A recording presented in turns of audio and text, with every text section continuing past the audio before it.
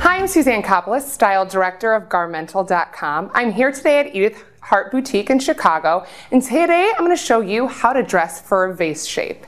The first look I have is a great dress from La Dress. It's from Danella, and the, the best part about this dress is that it brings in right into your waistline. So a vase shape doesn't necessarily have enough going on with an hourglass, so we're gonna create the hourglass curve with the color blocking and with the black detail going in at her waist. And then we've just added a little detail with a cute little black pebble rock necklace, and you have the perfect look for creating a, a great waist. The second way for creating a great hourglass figure when you have a vase shape is by wearing a peplum jacket. We've got this great jacket by Bailey 44. It's got the leather and black knit detail, so it's very comfortable. And then we've just brought in a really great on-trend bright blue pant from Milly and finished off with another pop of color with this cami by Graylin.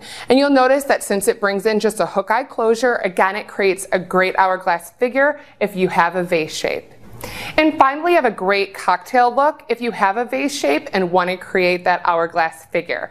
We have this great dress from Milly, and you'll notice that the piping and the change in fabrication brings all the attention to this waistband, again, creating a great hourglass figure. I finished off this beautiful dress with a Bella Coletta rock clear crystal necklace, which also adds a little edge to this beautiful cocktail look.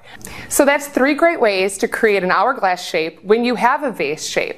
For more style tips and to shop all of these looks you saw today, visit garmental.com.